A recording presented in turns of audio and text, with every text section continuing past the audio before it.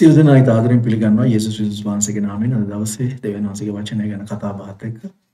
අපි ඊයේ කතා කරා වගේම ස්වාමින් වහන්සේගේ රාජ්‍ය ගැන ධර්මිෂ්ඨ වූ රාජ්‍ය උන්වහන්සේ පිහිටවන්න යන රාජ්‍ය සාධාරණ යුක්ති සහගත කඳුල වේදනාව දුක ඊර්ෂ්‍යාව ක්‍රෝධය වෛරය නැති සර්ව සාධාරණ වූ පාලනය ගෙනෙන්න යේසුස් ක්‍රිස්තුස් වහන්සේ මේ පොළොවට එන දවස් ඉතාම ආසන්නයි.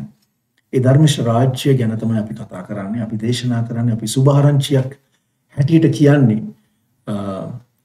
රාජ්‍ය ගැන. රාජ්‍ය සුභාරංචිය. ඒ රාජ්‍ය සුභාරංචිය සියලු ජාතීන්ට සාක්ෂියක් පිණිස ප්‍රකාශ කරනු ලබන්නේය. එවිට අන්තිම එන්නේ කියලා යේසුස් වහන්සේ කිව්වා. ඉතින් අපි අන්තිම මේ අවසාන කාලේ ජීවත් වෙන ක්‍රිස්තුස් වහන්සේගේ ස්වභාව නැත්නම් ක්‍රිස්තුස් වහන්සේගේ ශරීරය හැටියට ඒ රාජ්‍යයේ සුභාරංචිය අපි නිතර ප්‍රකාශ කළ යුතු වෙනවා. මොකද අපි දන්නවා මේ වෙනකොට ලෝකයේ මිනිස්සු ගොඩාක් සාධාරණ පාලනයන් හොයනවා. සාධාරණ නායකයෝ හොයනවා. යුක්ති සහගත නායකයෝ හොයනවා. දූෂිත නැති නායකයෝ හොයනවා. මේ මේ මේ අයට අමතක වෙනවා සෙනගට මිනිස්සුන්ට. මිනිස්සෙක් කොහොමත්ම සර්ව සාධාරණ වෙන්න බෑ. මිනිස්සෙක් කොහෙත්ම මනුෂ්‍යාකාර විදියට ධර්මිෂ්ඨ වෙන්න බෑ.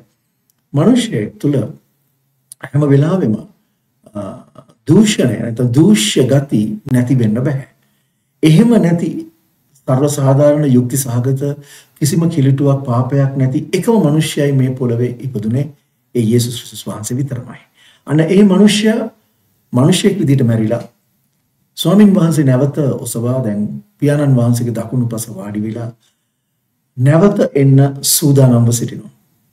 උන්වහන්සේ බලාගෙන ඉන්න උන්වහන්සේගේ ශරීරය නැත්නම් උන්වහන්සේගේ ස්වභාව, උන්වහන්සේගේ ගෝලයන් සූදානම් වෙනතුරු ඒ කාලය නිසි කාලය ආවහම අපි දන්නේ කවද්ද කියලා.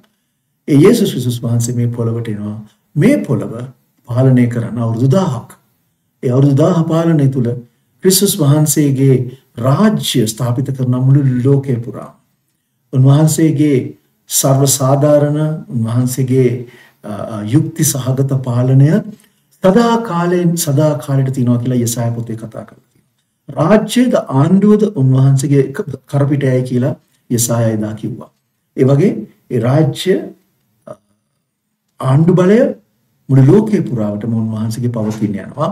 අන්න ඒ ක්‍රියාවලිය ආරම්භ වෙන දවස ඊටම ආසන්නව තියෙනවා. ඉතින් ඒ රාජ්‍යයේ සුභාරංචිය තමයි අපි ප්‍රකාශ කරන්නේ. අපි කියනවා මේ රාජ්‍ය එන්න ළඟයි. ඒ රාජ්‍ය පංගුකාරත්වයේ ලබන්න නම් ඒ ක්‍රිස්තුස් වහන්සේගේ රාජ්‍ය සදාකාලික වූ රාජ්‍ය දෙවියන් වහන්සේගේ ඒ ධර්මිෂ්ඨ රාජ්‍ය පාලනය තුල ජීවත් වෙන්න ඒ තුල සේවය කරන රජකම් කරන්න උන්වහන්සේ එන දවස ඉතා ළඟ බව තමයි අපි හැමෝටම ප්‍රකාශ කරන්නේ. ඒක තමයි රාජ්‍ය සුභාරංචි කියලා කිව්වේ. ඉතින් මම ඔයගොල්ලන්ගෙන් ඉල්ලනවා ඔබ කිතුණුවෙක් නම් ඒ රාජ්‍ය සුභාරංචි ප්‍රකාශ කරන්න වෙන වෙන සුභාරංචි නෙමෙයි අපිට කිව්ව එක සුභාරංචිය පසුතැවීම කරන කොටගෙන පව් සමාව තුළින් දේව රාජ්‍ය පංගුකාරත්වයේ ලබන්න දෙවියන් වහන්සේ ඔයාට ආරාධනා කරනවා කියන එක තමයි ඔයා මිනිස්යන්ට ගිහිලා කියන්න ඕනේ. දෙවියන් වහන්සේට ආරාධනා පත්‍රයක් අද දෙනවා ඒ රාජ්‍යයට ඇතුල් වෙන්න කියලා. ඒ රාජ්‍යයට ඇතුල් වෙන්න මෙන්න මේ දේ ඔබ කළ යුතු වෙනවා කියලා යේසුස් වහන්සේ අපිට උපදෙස් දීලා තියෙනවා. හොඳයි. ඒ ධර්මිෂ්ඨ රාජ්‍ය නොසෙල්වෙන රාජ්‍ය කවදාවත් විනාශ නොවන පහත් පහන වෙන රාජ්‍ය. අපි හේබ්‍රු පොතේ 12 වෙනි පරිච්ඡේදයේ අපි කියවමු අපි අපි දැන් බලන්න යන 28. නමුත් අපි ඉස්සල්ලා ඔබ ඔබට මතක ඇති මම මේක මම හිතන්නේ ගිය අවුරුද්දේ නිතර කතා කරපු දෙයක් සෙලවීම ගැන. අහසත් පොළවත් නැවත වතාවක් උන්වහන්සේ සොලවන්න යනවා කියලා. යේසුස් වහන්සේගේ වචනය තුලින් හගයි හගයි කරන කොටගෙන දෙවියන් වහන්සේ ප්‍රකාශ කරපු දේ සිදු වෙන්න ඊටාම ආසන්න බව අපි කතා කරලා කිව්වා. ඒ අහස පොළව හොලවන දවස ඊටාම ඊටාම ඊටාම ළඟයි. දිනේ මන් දන්නේ නමුත් ඒක ඊටාම ළඟ බව හොදාකාරව දන්නවා. මේ නුදුරු දවසකදී ඒ දේ සිදු වෙන්න යා. ස්වාමීන් වහන්සේ මේ පොළව හොලවනවා අහස නැත්නම් ස්වර්ගයන් හොලවනවා. ඊට පස්සේ උන්වහන්සේ කතා කරලා කියනවා ඒ හොලවන වෙලාවේ නොසෙල්වි සිටින්න. ඒක කියන්නේ 28 වෙනි පදේ. එහෙන් සොලවන්ට බැරි රාජ්‍යයක් ලබන්නා වූ අපි ගෞරවයෙන්ද දේව බයින්ද දෙවියන් වහන්සේට ප්‍රසන්න වන ලෙස සේවය කරන පිණිස අනුග්‍රහය ඇතිව සිටිමු. සොලවන්ට බැරි රාජ්‍යයක්. කිසි කෙනෙකුට හොලවන්න බැරි රාජ්‍යයක් තමයි අපි ලබන්න යන්නේ. දැන් ඇත්තටම අප තුළ මේ දවස්වල මේ කාලය තුළ මේ අපි ජීවත් වෙන මේ කාලේ ඒ ජීවත් වෙන ක්‍රිස්තුස් වහන්සේගේ ශරීරය තුළ ශුද්ධාත්මයන් වහන්සේ ගොඩනගන්නේ ඒ නොසෙල් වෙන රාජ්‍යයේ ස්වභාවය. යේසුස් වහන්සේ කිව්වා දෙවියන් වහන්සේගේ රාජ්‍ය නුඹලා තුලයි. ඒ කියන්නේ අපි තුලයි. ඒ රාජ්‍ය අපි තුල ගොඩනැගුණාම ඒ සම්පූර්ණ වුණාම සැලවෙන්නේ නැහැ. වටේ මොන සිදු වුණත් මොන කුණාටුවාවක් මොන සුළඟාවක් මොන පීඩා ප්‍රශ්න මොනවාවත් අපි සැලවෙන්නේ නැහැ. අපිට සමහර වෙලාවට දුකක් ඇති වෙන්න පුළුවන් සමහර වෙලාවට කේන්තියක් ඇති වෙන්න පුළුවන් සමහරට ප්‍රීතියක් ඇති වෙන්න පුළුවන්. ඒ මොන දේ සිදු වුණත් හැඟීමක් විදිහට සුළු වශයෙන් සිදු වුණත් අපි සැලවෙන්නේ නැහැ. නොසෙල්වී සිටිනවා. සෙලවෙන්නේ නැහැ කියන්නේ අපි තීරණ වෙනස් කරන්න යන්නේ අපි ගත්ත තීරණ සෙලවීම නිසා වෙනස් කරන්න යන්නේ ඒ ඒ ගමන තුල අපි යනවා. අපි කවදාවත් ගමන අතහරින්නේ නැහැ. අපි කවදාවත් ගමනෙන් අහක්ව යන්නේ වමටවත් දකුණටවත් හැරෙන්නේ නැහැ. අපි ඒ ගමන ගමනේ කර්තෘවරයා යේසුස් ක්‍රිස්තුස් වහන්සේ දිහා බලාගෙන අපි ඉදිරියට යන්න යනවා. ඉතින් මේ තමයි නොසෙල්වන්නා වූ රාජ්‍යය. දිව්‍යන් වහන්සේගේ රාජ්‍යය. දැන් මේ රාජ්‍ය තියෙන්නේ අප තුල. අපි මේ රාජ්‍ය ලබන්ට යනවා ස්වභාවිකව යේසුස් වහන්සේ රාජ්‍ය පිහිටුපු කාලයේදී. ඒක බොහොම ළඟයි. ඒක අවුරුදු ගණනකින් අපිට කියන්න පුළුවන්. ඒ කියන්නේ පොඩි පොඩි කාලයකින් සිදු වෙන්න පුළුවන්. ඊටාම ආසන්න කාලයක අපි ඉන්නේ. මේ අවුරුදු 100 200 500 නෑ. මේ බොහොම සුළු කාලයක් තියෙන්නේ. ඒ සුළු කාලය තුළ අපි නොසෙල්වී සිටින්න අවශ්‍යයි මේ පොළොවේදී. මොකද සෙලවීම් ගොඩක් සිදු වෙන්නේ යනවා. දෙවියන් වහන්සේම කියනවා මම ආසත් පොළවත් නැවත හොලවනවා. ඒක දෙවියන් වහන්සේ හොලවනකොට අහස පොළව ඒ ගොඩාක් අය සෙලවෙන්නේ යනවා. අන්‍ය භක්තිකයන් දෙවියන් වහන්සේ නොදන්නා අය ගොඩාක් හෙලවෙන්නේ යනවා. හැබැයි දෙවියන් වහන්සේව හඳුනන දෙවියන් වහන්සේගේ නාමය දරන ඔබ මම සෙලවුණොත් අපේ ඒ අන්‍ය ජාතිකයන්ගේ අන්‍ය භක්තිකයන්ගේ අතර වෙනසක් නැති වෙනවා. එතකොට අපි සුභාරංචියක් වෙන්න යන්නේ නැහැ. එතකොට අපි විසඳුමක් වෙන්න යන්නේ නැහැ ප්‍රශ්නයට. අදනද මේ ලෝකේ තියෙන සියලුම ප්‍රශ්නවලට විසඳුමක් තියෙනවා. දේශපාලකයෝ ඒගොල්ලන්ගේ වාසිය තකා එක එක විසඳුම් කරකෝල හරවලා එම් මෙන් කරලා කියනවා. අපි වට කියන්නේ කැරට්ටල කියලා. හරි. අර හාවට කැරට්ටලේ පෙන්නවා වගේ තමයි. ඉතින් පැනගෙන හාව යනවා කැරට්ටලේ ගාවට. අන්තිම බැලුවම මුකුත් ඇත්තේ නැහැ. ඒක සෙල්ලම් බඩුවක් වගේ. හැබැයි මේ දෙවියන් වහන්සේ අපිට දෙන්නේ සදාකාලික වූ ස්ථිර විසඳුමක්. මේ මුළු ලෝකේ තියෙන සියලු ප්‍රශ්නවලට විසඳුම එක නමකින් මට කියන්න පුළුවන්. යේසුස් ක්‍රිස්තුස් වහන්සේ. උන්වහන්සේ තමයි සියල්ලට විසඳුම. ඒක වෙන්න යනවා. ඒක නිකන් අපි කතා කරලා නිකන් කයිබාරුට කියනවා නෙමෙයි. සමහර අය හිතන්න පුළුවන් ආ මේ පිස්සේ කතා කරනවා පිස්සා කියලා කියන කමක් නැහැ. හැබැයි විසඳුම යේසුස් වහන්සේ විතරමයි. ඒ විසඳුම මේ බොහොම ළඟදී මේ පොළවට ඇවිල්ලා මේ පොළව තුල ඒ විසඳුම ඇති කරන්න යනවා. ඔයා කැමති වුණත් නැති වුණත්, ඔයා එකඟ වුණත් නැති වුණත්. එතකොට ඒ රාජ්‍යය පිහිටවන දවස ඊටාම ළඟයි. වෙයිටි ඉස්සල්ලා සොලවන්න යනවා. ඒ සොලවන වෙලාවේ සෙලවෙන්න එපා. මොකද අපි සෙලවුණොත් අපි සුභාරංචියක් වෙන්න යන්නේ අපි ඒතර කොහොමද නොසෙල්වන්නා වූ රාජ්‍යයක් ගැන කතා කරන්නේ අපි හෙලවිට. ඒ නිසා තමයි මේ පාළුතුමා කතා කරලා කියන්නේ එහෙයින් සොලවන්ට බැරි රාජ්‍යයක් ලබන්නා වූ අපි. මං කියන්නම් ලබමින් සිටින්නා නැත්නම් අපි ඇති කරගන්නා වූ අපි අතුලාන්තේ බිහි කරගන්නා වූ අපි ගෞරවයෙන් ගෞරවයෙන් අපි අපි godly reverence ගෞරවය කියලා කිව්වේ ඒකයි. දෙවියන් වහන්සේට ගෞරවය දෙමින්. උන්වහන්සේ අපේ මිතුර තමයි උන්වහන්සේ අපේ සහෝදරයා තමයි උන්වහන්සේ අපිට ගොඩාක් ඉට්ටු වෙලා ඉන්න සහෝදරයෙකුට වඩා ළඟ සිටින මිතුරා ඒක ඇත්ත. හැබැයි උන්වහන්සේ දෙවියන් වහන්සේ. ඒ ඒ ගරුත්වය ඒ රෙවරන්ස් එක අපි දෙවියන් වහන්සේට දිය යුතුමයි. අපේ හදවත් තුළ එක තියෙන්න අවශ්‍යයි. ගෞරවය. එනිසා අපි නොසෙල් වන්නා වූ රාජ්‍යයක් උරුම කරගන්න අපි දෙවියන් වහන්සේ කෙරෙහි ගෞරවයෙන්ද ඒ වගේම දේව බිය ඇතුවද හරි. ගෞරවයෙන්ද? දේව බියෙන්ද? දෙවියන් වහන්සේට ප්‍රසන්න ලෙස සේවය කරන ප්‍රසන්න ලෙස. දැන් දෙවියන් වහන්සේට ප්‍රසන්න ලෙස සේවය කරනවා කියන්නේ. දැන් අපිට සේවය කරන්න පුළුවන්. ඕන සේවයක් දෙවියන් වහන්සේට ප්‍රසන්න වෙයි කියලා අපි හිතනවානේ නෑ නෑ නෑ. දෙවියන් වහන්සේ මේ මුළු ලෝකේ විසිරී සිටින උන්වහන්සේගේ සෙනඟ ක්‍රිස්තුස් වහන්සේගේ සභාව තුළ ක්‍රිස්තුස් වහන්සේ අභිප්‍රාය කරා වූ විවිධ කාරණා සැලසුම් කරලා තිනවා. දැන් අපි උදාහරණයකට ගමු මෙහෙම. අපිට අපිට අපිට වැටහෙන විදිහට මම මේ කියන්න උත්සාහ කරන්නේ. අපි හිතමු විශාල ආයතනයක් තියෙනවා. මම ආයතනයක් සම්බන්ධ කරන්න කැමති නෑ සභාවට. නමුත් මේ උදාහරණයක් විතරයි. මේක උදාහරණයක්. යම්කිසි ආයතනයක් තියෙනවා විශාල ආයතනයක්. ඒතර ඒ ආයතනයේ නායකයා මොකද කරන්නේ? විවිධ ස්ථානවල මිනිස්යන් ස්ථානගත කරලා ඒ විවිධ මිනිස්යන්ට විවිධ කාර්යයන් බාර දෙනවා. අපි හිතමු කම්පියුටර් ඉංජිනේර කෙනෙක් ඉන්නවා. ඒ කම්පියුටර් ඉංජිනේරට කියනවා ඔයා මේ කම්පැනි එකේ නැත්නම් මේ ආයතනයේ පරිගණක ගැන සොයා බලමින් ඒවා හරියට ක්‍රියාත්මක වෙනවාද කියලා සොයා බලමින් ඔයා පරිගණක පද්ධතිය ගැන සොයා බලමින් ක්‍රියා කරන්න කියලා අපත් කරනවා. ඒක මොකද යාගේ හැකියාව ඒක. හරිද? තව එක්කෙනෙක් ඉන්නවා ගොඩක් එයා කතා කරන්න හරි හැකියාව තියෙන කෙනෙක් නිසා යාට කියනවා මාකටිං පැත්ත. ඔයා සොයලා බලන්න ඔයා ෆීල්ඩ් එකට ගිහිල්ලා ඔයා ආරෙහි ගිහිල්ලා මෙහෙ ගිහිල්ලා නෝරෙලිය ගිහිල්ලා ආර තැන් වලට ගිහිල්ලා ඔය තැන් වල ගිහිල්ලා ඔයා ඒ තැන් වල දේවල් සොයලා බලන්න කියලා එක්කෙනෙක්ව පත් කරනවා. ඒ වගේ විවිධ අයව විවිධ ස්ථානවල විවිධ තානාන්තරවල පත් කරනවා. ඒතර මේ මේ මේ මේ නායකයා බලාපොරොත්තු වෙනවා ඒ අය ඒ අදාළ කාර්ය කරයි කියලා. හරිද? ඒතර අදාළ කාර්ය ඒ සේවකයා කරනකොට ආයතනය ඊටා ශීඝ්‍රයෙන් වර්ධනය වෙලා ව්‍යාප්ත වෙන නිසා නායකයා ප්‍රසන්නව ඉන්නවා. ඒ සේවකයෝ ගැන. හැබැයි නිකන් හරි විවිධිතමු අර කම්පියුටර් ඉංජිනේරට හිතුණා මේ කාමරයක් ඇතුලේ මට හිර වෙලා ඉන්න බෑ මං යනවා නුවරඑළිය මාකටිං කරන්න කියලා. එයා හිතනවා.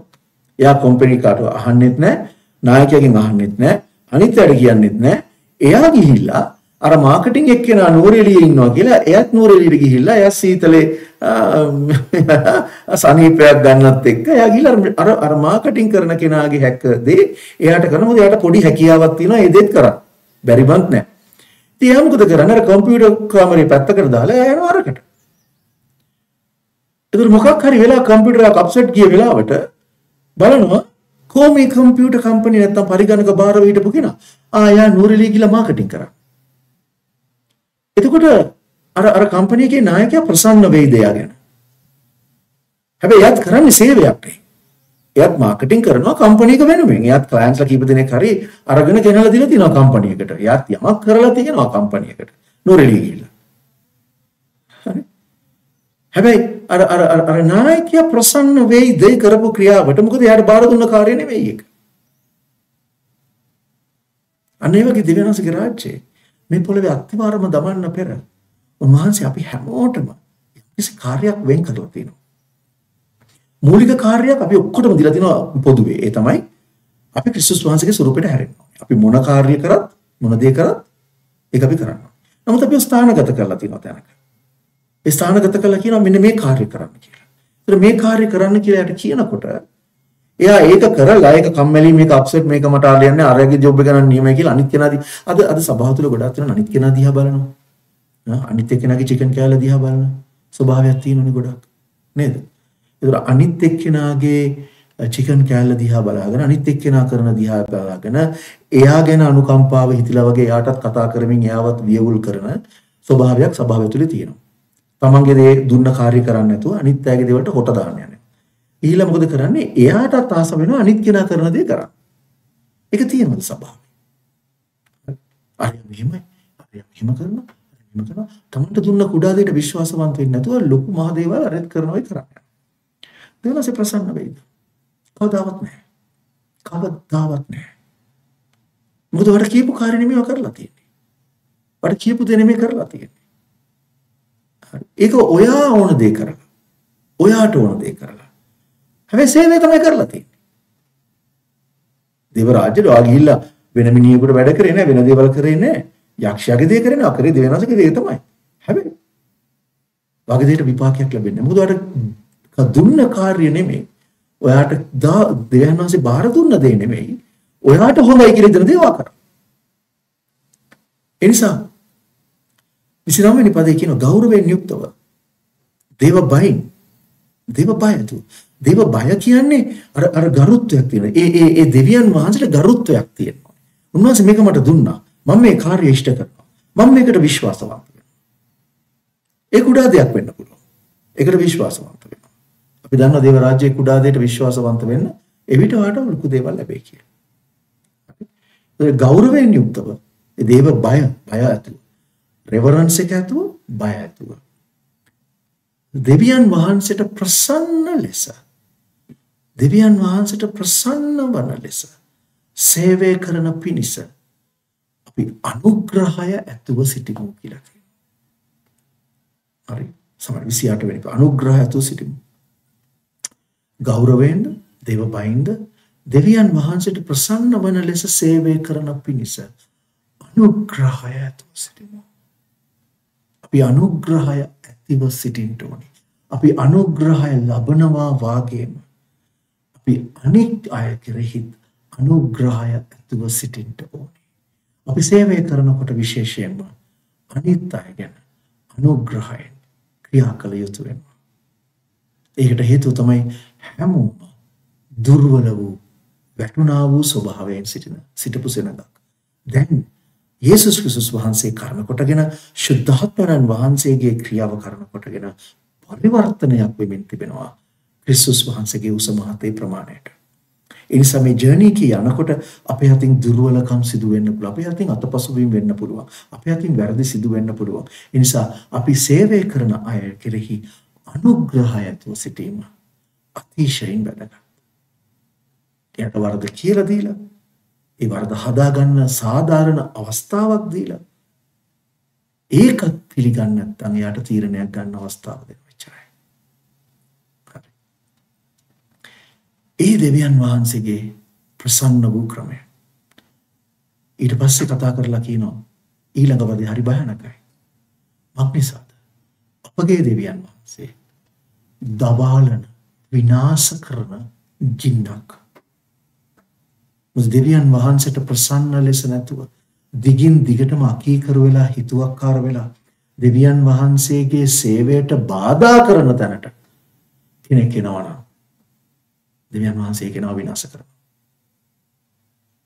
දෙවියන් වහන්සේ කෙනාව විනාශ කරනවා. මම චුට්ටි දෙයක් ආපහු වෙන වෙන තැනකින් මම මතක් කරලා දෙනවා මේ මේ පදේටම අදාළ දෙයක්. මෙතනට ආපහු වෙනවා මම. 1 කොරින්ති 3 1 කොරින්ති 3 16 පොඩ්ඩක් කියපුවා. 1 කොරින්ති 3 16 වෙනි පදේ. ඒ ඒක කතා කළා කොරින්ති 3 9 ඉඳලා කතා කරන්නේ සේවයන් ගැන. අපි ගොඩනගන දේ ගැන. මම කිව්වේ එක එක්කෙනා ගොඩනගන්නේ කෙසේදයි බලා ගනීවා. හරි. රත්තරන්ද රිදීද මැණික්ද කියලා නැත්නම් ලීද තෘණද පිදුරුද කියලා. ඒතර ලී තුන පිදුරු පිදුරු මේ සංකේතවත් කරන්නේ තමන්ට ඕන දේ කරන අය. මැණික් සංකේතවත් කරන්නේ සම්පූර්ණ දෙවියන් වහන්සේගේ කැමැත්ත විතරක් කරන්න කැප වෙච්ච අය. ඒ කතාව ඔක්කොම කියලා කියනවා කොරින්ති 3:16. ඔබ සෑම දෙවියන් වහන්සේගේ මාලිගාව බවද දෙවියන් වහන්සේගේ ආත්මයන්න් වහන්සේ ඔබ සෑම තුල වාසය කරන බවද නොදැනෙහුද? මේ කතා කරන්නේ සභාව. මෙතන කතා කරන්නේ ශරීරයේ නෙමෙයි සභාව. මොකද මේ කමිටි ඉස්සලා කතා කරේ සභාව ගැන. ගොඩනැගීම ගැන, සේවය ගැන. මොකද ඒ කළ විපාකය යනවනේ කළ දේ යන විපාකය දෙනවා කියලා තමයි ඉස්සලා කිව්වේ. ඉස්සලා පදවල. ඊට පස්සේ පදේ කතා කරලා කියනවා. යමෙක් දෙවියන් වහන්සේගේ මාලිගාව නාස්ති කරන්නේ නම් දෙවියන් වහන්සේ ඔහුව නාස්ති කරනසේක. මක්නිසාද දෙවියන් වහන්සේගේ මාලිගාව ශුද්ධය. ඒ මාලිගාව ඔබ සැමය. කණ්ඩායම සභාව. තොර යමෙක් මේ සභාව නාස්ති කරනවා ක්‍රිස්තුස් වහන්සේගේ ක්‍රියාව උන්වහන්සේ ලේවලින් මිලදී ගත්තා වූ සභාව ඇතුලේ වියවුල් ඇති කරනවා. ඒ ක්‍රියාවට බාධාවක් වෙනවා දෙවියන් වහන්සේ ඒ කෙනාව විනාශ කරනවා. අර හේබ්‍රු පොතේ 10 13 28 29 කිව්වෙත් ඒකයි.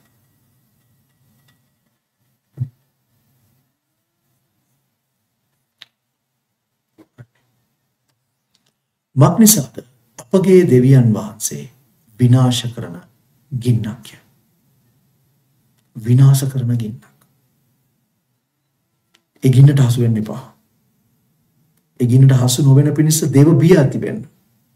දෙවියන් වහන්සේ කෙරෙහි බය ඇතුව උන්වහන්සේට ගෞරව කරමින්. හරි. කවුද දෙවියන් වහන්සේ ගෞරව කරන්නේ? දෙවියන් වහන්සේට අපි ගෞරව කරන්න අවශ්‍යයි. දෙවියන් වහන්සේත් අපිට ගෞරව කරනවා. ඒ මොනවද දන්නවද? අපි ක්‍රිස්තුස් වහන්සේ කියපු දේ කරනවා. යමෙකු මට සේවය කළේද පියාණන් වහන්සේ ඔහුට ගෞරව කරනසේ. හරි. පියාණන් ක්‍රිස්තුස් වහන්සේ යේසුස් වහන්සේ අපිට කියන දේ ක්‍රිස්තු ශරීරයට යේසුස් වහන්සේ එකිනෙක කෙනාට බාර දුන්න කාර්ය නිසියාකාරව විශ්වාසවන්තව ඉෂ්ට කරනවා නම් අවසානයේ යේසුස් වහන්සේ කියනවා විශ්වාසවන්ත වූ සේවකයා ඇතුල් වෙන්න ඔබගේ විවේකයට. well done. ඔබ හොඳින් කළා. ඔබ හොඳින් කළා. විශ්වාසවන්ත සේවකයා ඇතුල් වෙන්න ඔබගේ විවේකයට. ඒ ඒ විශ්වාසවන්ත වූ සේවය කරන විට දෙවියන් වහන්සේ පියාණන් වහන්සේ අපිට ගෞරව කරන්න. හැබැයි අපිට මෙතන කියනවා උන්වහන්සේ කෙරෙහි ගෞරවය ඇතුව දේව පිය ඇතුව සිටින මොකද දෙවියන් වහන්සේ දවාලන ගින්නක්. බොරු ප්‍රොපේතවරුන්ට රැවටෙන්න එපා. බොරුකාරයන්ගේ ඉගැන්වීම් වලට හසු වෙන්න එපා. අපි හේබ්‍රු පොතේ 13 වෙනි පරිච්ඡේදයේ එකේ ඉඳලා මොකද මේ පදයට පස්සේ තියෙන 13 එක. 13 එකේ කියනවා සහෝදරස්නේ let brotherly love continue. සහෝදර ප්‍රේමය සහෝදරයන්ට ප්‍රේම කරන එක ආදරය කරන එක කන්ටිනියු කරන්න දිගටම කරන්න සහෝදර ප්‍රේමය දිගටම පවතීවා. කන්ටිනියු එක කවදාවත් නවතින්න එපා. මම කිව්වා සහෝදර ප්‍රේමය කියන්නේ මොකක්ද කියලා මම පැහැදිලි කරලා දුන්නා ඊයේ. සහෝදර ප්‍රේමය මොකක්ද කියන එක මම පැහැදිලි කරලා දුන්නා කියලා මම හිතනවා. සහෝදර ප්‍රේමය කියන්නේ බදාගෙන ඉබගෙන ලෙවකාගෙන ඉන්න එක නෙමෙයි. ඒක නෙමෙයි. කෙනෙක් ගිනිවිලට යන්නේකින් වළක්වලා ඒ කෙනාව දෙවියන් වහන්සේගේ රාජ්‍යයේ පංගුකාරයෙක් කරන පිණිස එයාට සුභාරංචිය කියලා එයාව ගොඩනගලා එයා වරදක් කරනවා නම් එයාට තේරුම් කරලා දීලා. විශේෂයෙන් සභාව ඇතුළේ ඉන්න සහෝදර සහෝදරියන්. අනිත් කෙනාව දරාගෙන උසුලාගෙන. ඒ කෙනා අනිත් අයට දරා ගන්න පුරුදු කරලා ඉවසන්න පුරුදු කරලා විනිශ්චය කරන්න ඉක්මන් නොවී දොස් තබන්න ඉක්මන් නොවී දෙවියන් වහන්සේගේ කාර්ය ඉෂ්ට කරන එක. දෙවියන් වහන්සේගේ කාර්ය කිව්වේ ඒ සහෝදරයව ගොඩනගන්න. ඒ සහෝදරයා දරාගෙන ඉවසගෙන ඒ කෙනාට අවංකව උපදෙස් දෙන එක තමයි නියම සහෝදර ප්‍රේමය. අන්න එක දිගටම පවතිවා. සහෝදර ප්‍රේමය කියන්නේ මූණට බදාගෙන ඉඹගෙන පිටිපස්සෙන් පිහි අනින එක නෙමෙයි. ඒක සහෝදර ප්‍රේමය නෙමෙයි. ඒක කුපාඩිකම්. දෙවනි පදය. ආගන්තුක සත්කාර කිරීම මතක නැති මතක නැති නොකරන්න. මක්නිස දෙසේ කිරීමෙන් සමහරෙක් නොදැනම දේව දූතයන්ට සත්කාර කළේ. මම මට මතක ඔබට මතක ඇති සමහරට අවුරුදු දෙකකට විතර කලින් මම කිව්වා අපි දේව දූතයන්ව දකින්න යනවා කියලා. සමහර විට අපිට හම්බ වෙලාත් ඇති මේ වෙනකොට. අපි දන්නේ නැහැ. ඒ නිසා ආගන්තුක සත්කාරයට මැලි වෙන්න එපා. දේව දූතයන් වෙන්න පුළුවන් එන්නේ. ඒ විතරක් නෙමෙයි. තුන්වෙනි පදේ. හරි. ඔබ සමත් සිරගෙවල් වල ඉන්නා වූ බැඳී කැට ගහලා ඉන්නා ගැන ඔබ සමත් ශරීරයේ සිටින බැවින් දුක් විඳින්න අපි ශරීරයේ ජනජන්ට ජීවත් වෙන නිසා අනිත් අය ගැනත් ඒ ආකාරයෙන්ම හිතන්න කියලා කියන්නේ. හරි. මොකද මේ මේ මේ මේ ලිපිය ලියනකොට ගොඩාක් වෙලාවට ගොඩක් අය විශ්වාස කරනවා කොහේ හරි පාවුතුමා හිර ගෙදරක ඉඳගෙන තමයි මේක ලිව්වේ කියලා. මොකද එයා කතා කරන විදියෙන් එයාගේ වචන වලින් තේරෙන්නේ මාව ඉක්මනට නිදහස් කරයි කියලා මම බලාපොරොත්තු වෙනවා කියලා තියෙනවා. ඒ නිසා ඒ හිරගෙවල් වල හිටපු අය ගැනයි පාවුතුමා කතා කරන්නේ. තාම අපිට එහෙම තත්ත්වයක් ඇවිල්ලා නැහැ. නමුත් ළඟදි වෙන්න පුළුවන්. මේ බොරුවට කුපාඩිකමට හිර යන අය නේ මම මේ කතා කරන්නේ. සැබෑ සුභාරංචිය කියලා බොරු චෝදනා දාලා හිරගෙදවලට දාපු කට්ටිය ගැන. එතකොට එය ගැන අමතක කරන්න එපා. ඕකේ. ඊට පස්සේ ඊළඟ පදේ. සමයි. ඊළඟ පදේ නෙමෙයි මට යන්න ඕනේ. 17 වෙනි සමයි 17 වෙනි පදේට. 7 වෙනි පදේ සමාවෙන්න. 7 වෙනි පදේ. දෙවියන් වහන්සේගේ වචනය ඔබ සැමට කියා දුන්නා වූ ඔබ සමගේ ප්‍රධානීන් අමතක කරන්න එපා සිහි කරන්න. ඔවුන්ගේ හැසිරීමේ කෙලවර බලමින් ඔවුන්ගේ ඇදහිල්ල අනුවෝ යන්න වෙන්න. හරි. ඒගොල්ලන්ගේ හැසිරීම දිහා බලන්න. පිට කවරෙන් පොත කියවන්න එපා. ඔයා පිටස්තරයෙන් දකින දේ මිනිස්සු මනින්න එපා. හරි. මේ විනාඩි දෙකෙන් පැය ගානක දෙයක් විනිශ්චය කරන්න එපා. මොකද අද YouTube එකේ ගොඩාක් අනවශ්‍ය විදිහට මිනිස්සුන්ව විවේචනය කරනවා. හරි. විනාඩි දෙකක වෙලාවක් වීඩියෝ එකක් යවලා මුළු දවස් ගානක සිදුවෙච්ච දෙයක් විනිශ්චය කරපු අය ඉන්නවා. පිටකවරේ කියවලා පිටකවරේ දිහා බලලා පොත විනිශ්චය කරපු අය. ඒ පොත ඇතුලේ තියෙන සම්පූර්ණ වෙනස් දෙයක්. එනිසා වචනය කියා දුන්න අය සිහි කරන්න. ඒගොල්ලන්ගේ හැසිරීම දිහා බලන්න. ඒගොල්ලොත් එක්ක වාසය කරන්න ටිකක්. ඒගොල්ලොත් එක්ක ආශ්‍රය කරන්න ටිකක් වෙලා. මේ චර්ච් එකේ දකින්න විනාඩි 10න් 15න් පැයෙන් දෙකෙන් කතා කරන වචනෙන් දෙකෙන් ඒ අය විනිශ්චය කරන්න යන්න එපා. පොඩක් ඒගොල්ලෝ බලන්න ඒගොල්ලන්ගේ ජීවිතවල මොනවද වෙන්නේ කියලා. ඒගොල්ලන් සාමාන්‍ය ජීවිතයේ හැසිරෙන ඉදි බලන්න.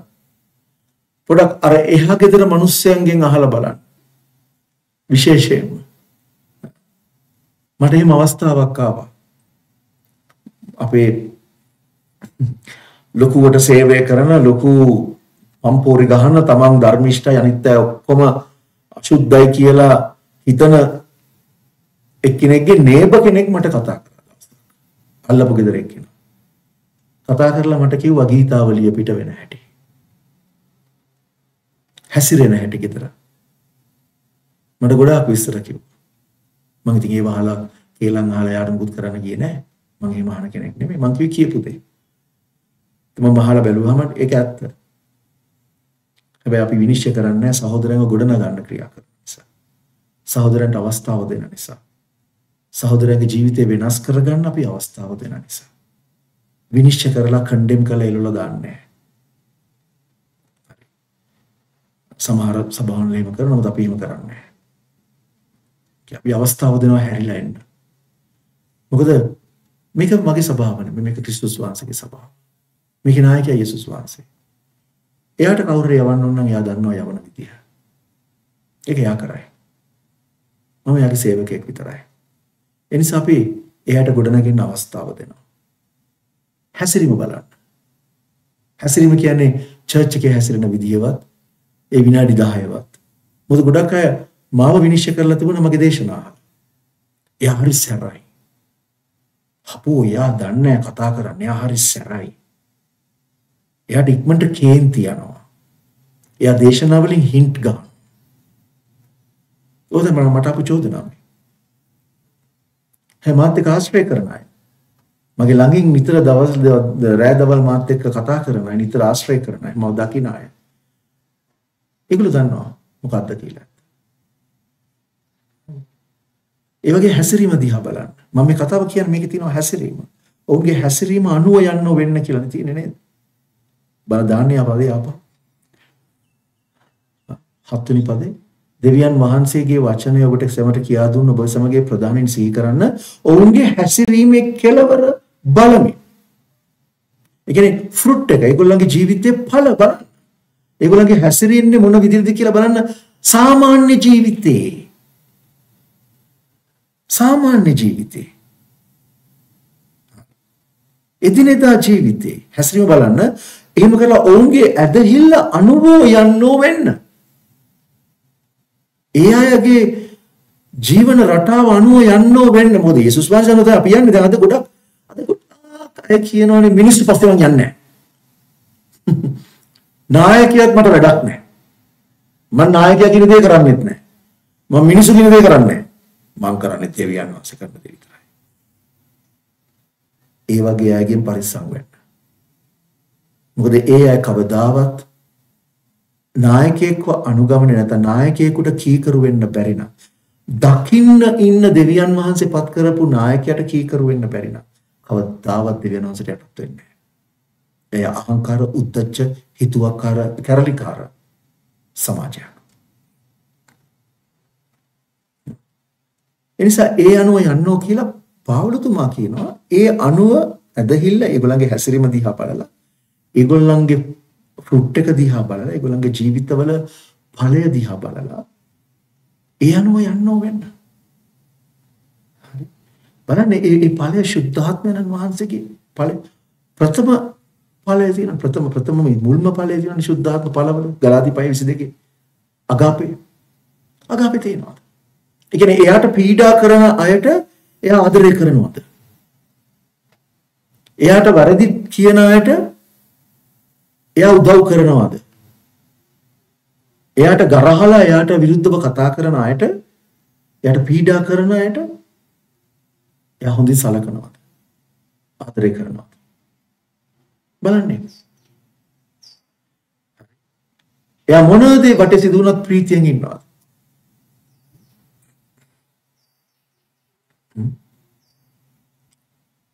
එයා සමාදානයේ තියාගෙන ඉන්න කෙනෙක්ද? යටහත් කෙනෙක්ද? මෘදු කෙනෙක්ද? මේ දේශනා කරනකොට නෙමෙයි. චර්ච් එකේ ඉන්නකොට නෙමෙයි, සේවය කරනකොට නෙමෙයි. සාමාන්‍ය ජීවිතේ. සාමාන්‍ය ජීවිතේ දන්නේ නැත්නම් ඔයා කෙනෙක්ගේ එයා විනිශ්චය කරන්න එපා. මම කතා කරන්නේ වැරදි ඉගැන්වීම ගන්න ගන්න නෙමෙයි. ඒගොල්ලෝ වැරදි ඉගැන්වීම කරනකොට ඉගැන්වීම කොහොමද වැරදි? ඒක කතා කරනවා. මම කතා කරන්නේ සාමාන්‍ය ජීවිතේ. හරිද ඒ ගැන්නුවත් එයාගේ සාමාන්‍ය ජීවිතේ බලන්න. කොහොමද කියලා. අනේ ඒ අනුව යන්න වෙන්න. ඊට පස්සේ කියනවා යේසුස් ක්‍රිස්තුස් වහන්සේ ඊයේත් අදත් සදා කාලයට එකාකාරයි. උන්වහන්සේ වෙනස් වෙන්නේ හරි. ඒ නිසා යේසුස් වහන්සේ වෙනස් වෙන්නේ නැහැ. උන්වහන්සේගේ ඉගැන්වීම වෙනස් වෙන්නේත් නැහැ. උන්වහන්සේ බලාපොරොත්තු වෙන දේ වෙනස් වෙන්නේත් නැහැ. ක්‍රිස්තුස් වහන්සේ ඊයේ අදයි සදා කාලයටම ඒකාකාරයි. උන්වහන්සේ වෙනස් වෙන්නේ ඒ නිසා මොකද කරන්නේ ඊළඟ පදේ 13 අනේකාකාර වූ අමුතු අමුතු ඉගැන්වීම් කරන කොටගෙන අහකට ගෙන යනු නොලබන්න.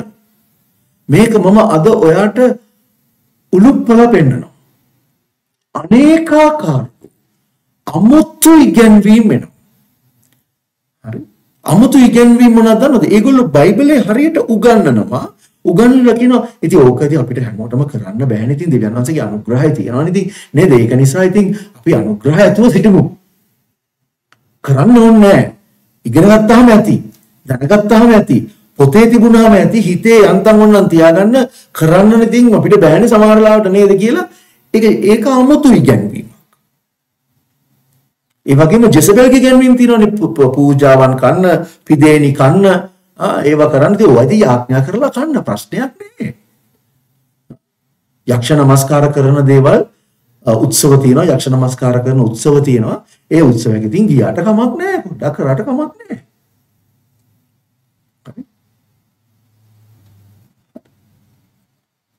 එනිසා අමුතු ඉගැන්වීම් කරන කොටගෙන අමුතු ඉගැන්වීම් කරන කොටගෙන බයිබල් පදිකුත් අමුතු ඉගැන්වීම් කරන කොටගෙන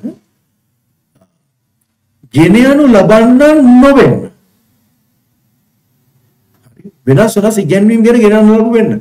දැන් මෙතන කතා කරලා කියනවා මක් නිසාද කෑම ගැන විවෘත ව්‍යාවෘත වන්නන්ට ප්‍රයෝජනයක් වුණේ නැති නිසා කෑම වලින් නව අනුග්‍රහය සිත ස්ථිර කරන මේ කතා කරන්නේ විවස්ථාව ගැන. මොකද සමහර කෑම කන්න එපා කියලා තියෙනවා. අරව කන්න එපා මේවා කන්න එපා කියලා තියෙන නිසා ඒ ඒ ප්‍රශ්නයක් ඒ කාලේ මෙතන තිබිච්ච නිසා මේ කතා කරන්නේ යුදෙව්වන්ට නිසා මේ හේබ්‍රු පොත ලිව්වේ හේබ්‍රු වරුන්ට නිසා හේබ්‍රුවරුන් අතර ගොඩාක් ඒ ගැන කතා බහක් ඇති වෙච්ච නිසා මොකද විවස්ථාව තුළ ඒ සමහර කෑම කන්න බැරි ස්වභාවයක් තිබුණා. ඒ කන්න බැරිය ගැන ඒක ප්‍රශ්නයක් ඇති කරගන්න එපා. කෑම නෙමෙයි අනුග්‍රහය වැදගත් කියලා තමයි පවුලතුමා එතන කියන්නේ. හරි. ඒක හේබ්‍රුවරුන්ට ලියපු නිසා.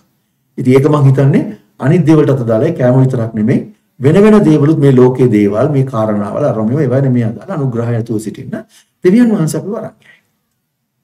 හරිද? ඒතර ඒ ඒ ඒ ටික ඒ ටික මේ අනුග්‍රහය ඇතුව සිටිමු. ඊට පස්සේ කතා කරලා අපි යම් පොඩ්ඩක් එහාට 17 වෙනි පදේ. මම වෙලාව ඉතුරු කරගන්න නිසා තමයි පොඩ්ඩක් එහාට පැන්නේ. හරි. 17 වෙනි පදේ. ඔබ සමගේ ප්‍රධානියෝ ගණන් දෙන්න සිටින්නන් මෙන් ඔබ සමගේ ආත්ම ගැන රැකබලා සිටිති. ඔවුන් සුසුම් ලමින් එසේ කළොත් ඔබ සැමට අලාභ බැවෙන්. සුසුම් ලමින් නොව ප්‍රීතියෙන් එසේ කරන පිණිස ඔවුන්ට කීකරුව යටත් වෙන්න. දැන් කාටද යටත් වෙන්න කිව්වේ දෙවියන් වහන්සේට ක්‍රිස්තුස් වහන්සේට විතරයි. එහෙමද? මෙතන යටත් වෙන්න කියලා තියෙන්නේ ක්‍රිස්තුස් වහන්සේට විතරද? නෑ. ඔබ කෙරෙහි ප්‍රධානියෙක් විදිහට පත් කරලා තියෙනවා නම් කවුරු හරි.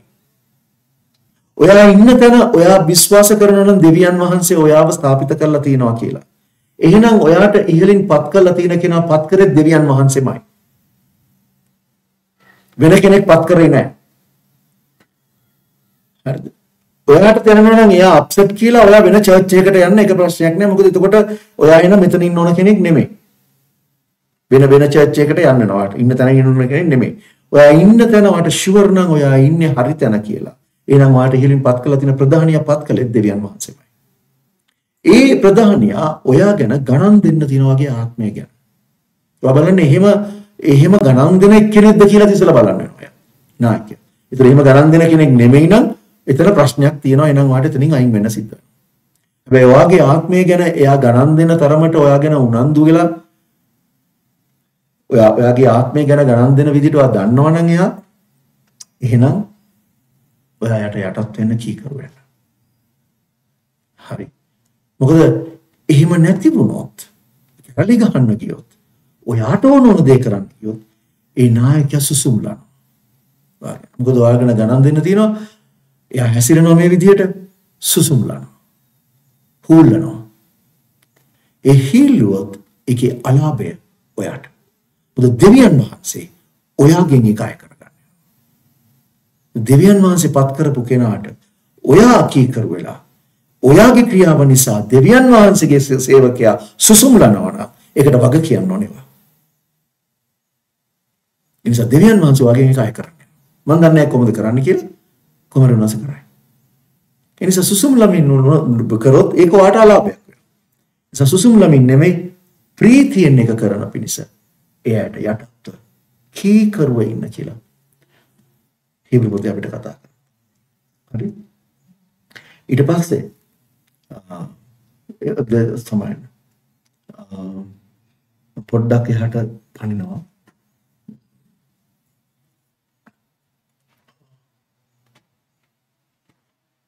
විසිවෙනි පදේ ගන්න. මම ඉතින් කියවන්න. විසිවෙනි පදේ.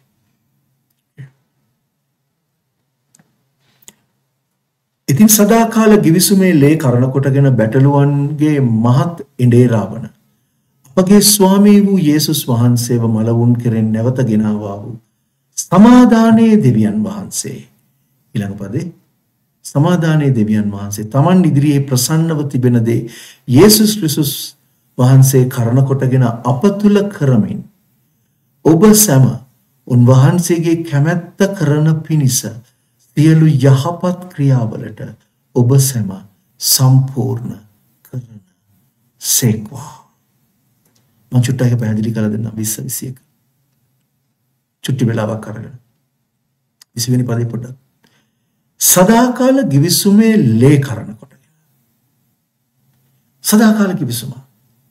ඒ යේසුස් වහන්සේ ඇති කරගත්තා වූ givisuma. අපි හම්බ වුණාම රොටි කඩලා කුසලානෙන් පානය කරලා සිහි කරනේ givisuma. ඒක සදාකාල givisuma. ඒ සදාකාල givisumේ ලේ වුණේ සතුන්ගේ ලේ නෙමෙයි. යේසුස් වහන්සේගේ ලේ. ඒ සදා සදාකාල givisumේ ලේ කරන කොටගෙන පැටලුවන් ඒ කියන්නේ වාගේ මගේ ප්‍රධාන එඬේරා ග්‍රේට් ෂෙපර්ඩ් ප්‍රධාන එඬේරා. ඒ කියන්නේ එඬේර සේවයේ තියෙන අය ඉන්නවා. නමුත් ප්‍රධාන එඬේරා අර එක පෙත්‍රුස් පොතේ පස්වෙනි පරිච්ඡේදයේ කිව්වා වගේ ප්‍රධාන එඬේරා වන අපගේ ස්වාමී වූ යේසුස් ක්‍රිස්තුස් වහන්සේව මලවුන් කෙරෙන් නැවතගෙන ආවා සමාදානයේ දෙවියන් වහන්සේ ඊට පස්සේ සමාදානයේ දෙවියන් වහන්සේ තමන් ඉදිරියේ ප්‍රසන්නව තිබෙන දේ. ආ හොඳ හොඳට මතක තියාගන්න එක. එයා ඉදිරියේ ප්‍රසන්නව තියෙන දේ යේසුස් ක්‍රිස්තුස් වහන්සේ කරන කොටගෙන අප තුල කරමින් අප තුල කලා නෙමෙයි අප තුල කරමින් සිටිනවා. දෙවියන් වහන්සේට ප්‍රසන්න වූ දේ ක්‍රිස්තුස් වහන්සේ කරන කොටගෙන අප තුල කරමින් සිටිනවා. මේ දැන් එහෙම කරමින් ඔබ සැම ඒ කියන්නේ අපි ඔක්කොමලා යේසුස් වහන්සේ දෙවියන් වහන්සේගේ කැමැත්ත කරන පිණිස අපේ කැමැත්ත නෙමෙයි මම මේ කතා කරන්නේ ලෝකාකාර ව්‍යාපාර කරන සල්ලි හම්බ කරන දේවල් කරන එක නෙමෙයි. මම කතා කරන්නේ සේවය තුලත්. ඔයාගේ කැමැත්ත නෙමෙයි. ඔයාට යහපත්ය හිතන දේ නෙමෙයි. දෙවියන් වහන්සේ කියන දේ. එයාගේ කැමැත්ත. එයාගේ කැමැත්ත මොකද්ද? සමහර විට එයාගේ කැමැත්ත ඔයාගේ කැමැත්ත නොවෙන්න පුළුවන්. සමහර අය කරන දේ තමයි ක්‍රිස්තියානික ලොකු මිස්ටේක් එකක් කරනවා. ඒ මොකක්ද දන්නවද? ඒගොල්ලෝ යම්කිසි කාරණයක් ගැන මේ සේවය ගැන මොනවා ගැන යාඥා කරනකොට ඒගොල්ලන්ගේ දැන් හිතේ අපි හිතමු ආසාවක් තියෙනවා කියලා යම්කිසි කාර්යයක් කරන්න මට මේ කරන්න මං ආසයි. හැබැයි අර තාම ෂුවර් නෑ. ඒ දෙනසෙන් අහනවා. යාඥා කරනකොට එයාට හිතෙනවා සිතුවිල්ලක් එනවා. අර එයාට ආසදේ තමයි කරන්න ඕනේ කියලා. ඒක එයා ආසදේ කරන්න ඕනේ කියලා එයාට සිතුවිල්ල ආවහම මේක දෙවියන් වහන්සේගේ කියලා.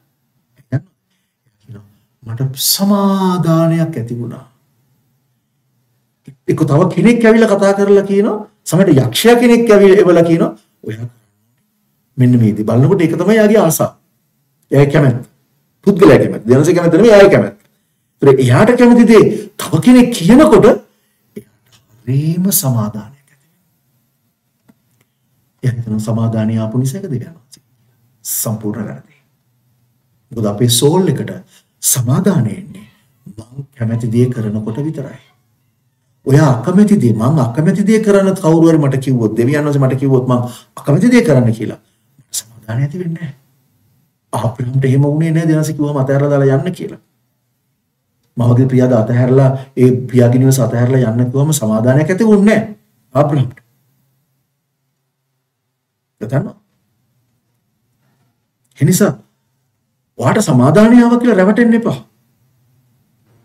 දෙවියන් වහන්සේගේ කැමැත්ත මොකක්ද කියලා හොයාගන්න. ඒකට මොකද්ද දෙවියන්සේගේ කැමැත්ත මොකක්ද කියලා දැනගන්න දින හොඳම ක්‍රමය මොකක්ද දන්නවද? රෝම 12:2 මේ ලෝකයේ ආකාරයට සමාන නොවි දෙවියන් වහන්සේගේ කැමැත්ත නම් සම්පූර්ණ වූ දේ කුමක්ද කියලා දැනගන්නා පිණිස මනස අලුත් කරගනිමින් අන්‍යාකාරයත්ව වෙන්න. renew your mind. අර මානසිකත්වයන් වෙනස් කරගෙන අලුතෙන් හිතන්න පුරුදු වෙන්න. අන්න එතකොට දිනසේ කැමැත්ත වල දැනගන්න පුළුවන්. නැත්නම් පරණ සුපුරුදු විදිහට මම හිතන්නේ කිව්වොත් ඔයා කවදාවත් දිනසේ කැමැත්ත දැනගන්න යන්නේ නැහැ. ඒතර දෙවියන් වහන්සේ කැමැත්ත කියලා කරන්නේ ඔයාගේ කැමැත්ත. ඒක හරි භයානකයි. දෙවියන් වහන්සේ මේ පදේ කිව්වේ මොකක්ද දන්නවද? තා උන්වහන්සේගේ කැමැත්ත, පියාණන් වහන්සේගේ කැමැත්ත, දෙවියන් වහන්සේගේ කැමැත්ත තමුන් ඉදිරියේ ප්‍රසන්නව තිබෙනදී යේසුස් ක්‍රිස්තුස් වහන්සේ කරන කොටගෙන අප තුල දැන් කරමින් උන්වහන්සේ මොකදනද කරන්නේ? අපි සෑම උන්වහන්සේගේ කැමැත්ත කරන පිණිස සියලු යහපත් ක්‍රියාවලට ඔබ සෑම අපි සෑමව සම්පූර්ණ කරනවා. පොරොන්දු මෙතන කියන්නේ සම්පූර්ණ කරන සේක්වා කියලා. හරි.